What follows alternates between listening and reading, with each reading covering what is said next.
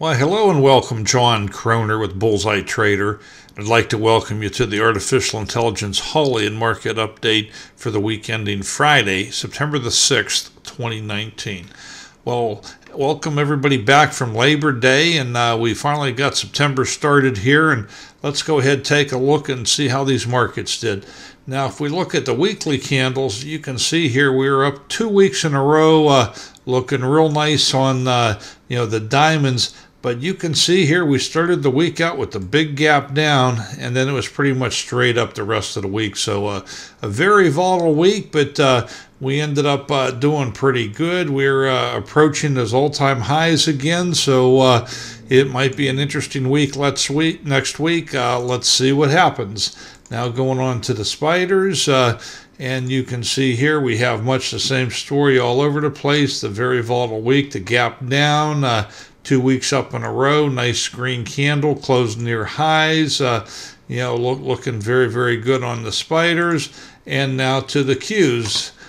And, uh, you know, here we go with the same story all over again. Uh, the only difference is if you were watching, you would gap down. And today we did not close above yesterday's high. We're just down a, just a fraction. But, uh, yeah, you can see here uh, we are down 0.1% uh, looking here. And, uh, you know, volume was a little bit on the light side today. But for the weekly candle, very, very nice look. And look how close to the top we closed. So uh, we are uh, looking very, very good on that. Uh, and when, when it comes to the all-time highs as well on, on the Qs, you can see how close we are there. And let's go back to the spiders for one second just to show you. And look how close we are there. So we are just uh, very, very close to setting those new all time highs. Now we'll move on over to Holly and see how Holly uh, did uh, today and for the week. And, uh, you know, you can see here for the Grail, for Holly 2.0 and Neo, you can see, uh, you know, how she did all week long. A very, very light trading week for Holly. Of course, you know, Monday was a holiday, so we lost, uh, you know, 20% of our trades right there but just real quiet. The, these gaps up and gaps down are, are very tough for the day trader. And of course, that's all Holly does is day trade. She has no overnight hold. So uh, it's, it's made it very, very difficult on her. But with that being said, we had 87 trades this week.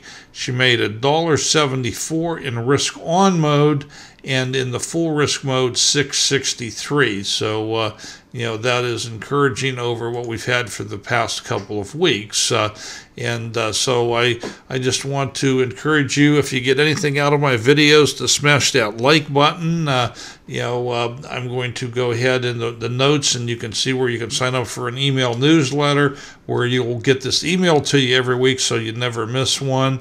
And uh, you can also subscribe to them on YouTube. You'll see a pop up on the left hand side of your screen there.